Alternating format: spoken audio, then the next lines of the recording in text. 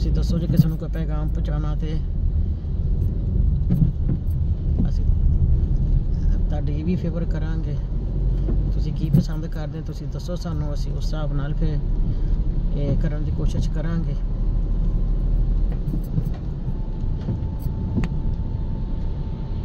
ਕਿਉਂਕਿ ਅਸੀਂ ਤੇ ਸਾਡਾ ਤੇ ਕੰਮ ਆ, ਅਸੀਂ ਆਪਣੇ ਭੈਣ ਭਰਾਵਾਂ ਨੂੰ ਆਪਣੇ ਵੱਡਿਆਂ ਛੋਟਿਆਂ ਨੂੰ ਆਪਣੀਆਂ ਫੈਮਲੀਆਂ ਨੂੰ ਖੁਸ਼ ਰੱਖੀਏ।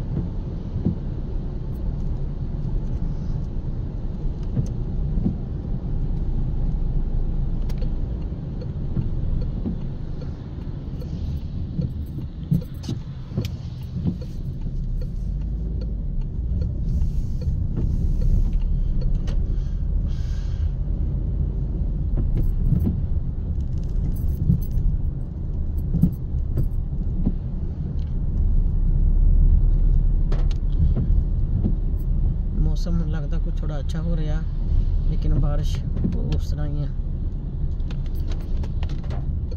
ਬਾਰਿਸ਼ ਵੀ ਹੋਈ ਜਾ ਰਹੀ ਹੈ ਤੇ ਮੌਸਮ ਵੀ ਚੰਗਾ ਹੋਈ ਜਾ ਰਿਹਾ। ਕਈ ਦਫਾ ਇਸ ਤਰ੍ਹਾਂ ਦੇਖਣ ਨੂੰ ਮਿਲਦਾ, ਉਧਰੋਂ ਧੁੱਪ ਲੱਗੀ ਹੋਏਗੀ, ਉਧਰੋਂ ਬਾਰਿਸ਼ ਹੁੰਦੀ ਹੋਏਗੀ।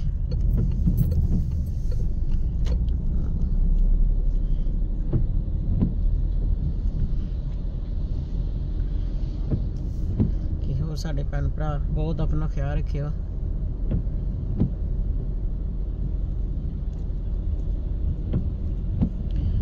ਗਰਮ ਰਹੋ ਠੰਡੀ ਬਹੁਤ ਆ ਸਰਦੀ ਆ ਕਾਫੀ ਆ ਗਰਮ ਰਹੋ ਤੇ ਖਿਆਲ ਰੱਖੋ ਆਪਣਾ ਆਪਣੇ ਫੈਮਲੀਆਂ ਦਾ ਆਪਣੇ ਬੱਚਿਆਂ ਦਾ ਖੁਸ਼ ਰਹੋ ਖੁਸ਼ੀਆਂ ਬਾਂਟੋ ਬਹੁਤ ਮਿਹਰਬਾਨੀ ਬਹੁਤ ਸ਼ੁਕਰੀਆ ਅੱਲਾ ਹਾਫਿਜ਼ ਥੈਂਕ ਯੂ